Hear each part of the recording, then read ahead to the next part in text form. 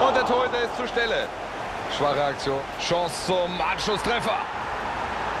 Drin ist er. Schöne Aktion. Das gibt, glaube ich, nochmal neuen Mut. Das ist der Aufwind, den sie brauchen. Wow, was für ein Geschenk vom Torhüter. Und das nimmt er natürlich an. Aber